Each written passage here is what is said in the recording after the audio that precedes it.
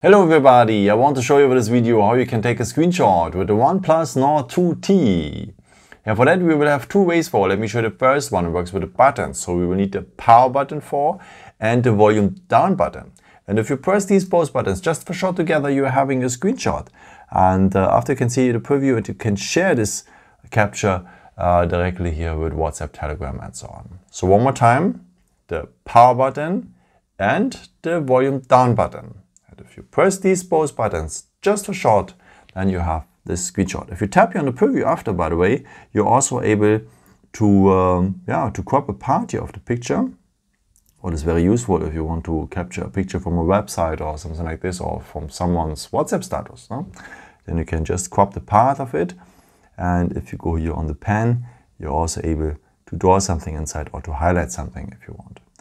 After, if you're ready with, just tap here on the checkbox and the screenshot is part of your gallery. And there's a second way, a pretty cool one by the way.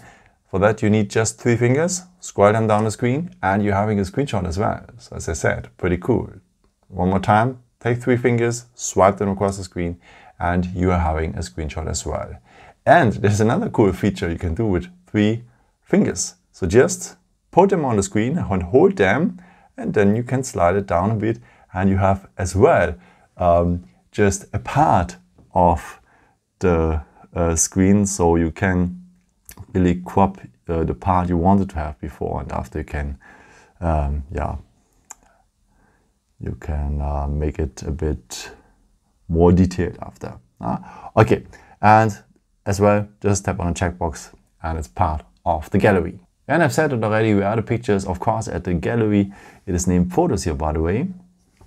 And uh, yeah it is uh, at the photos here next to your camera pictures and so on is the reason why I would recommend to you to go here on the albums because here the screenshots have their own folder just for your screenshots.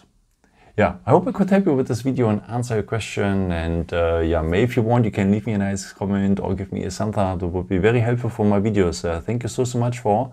And uh, yeah, I've got also some other videos if you're interested in, or maybe just subscribe me if you haven't done it before. Thank you so, so much for all your support and uh, yeah, maybe until next time. Ciao.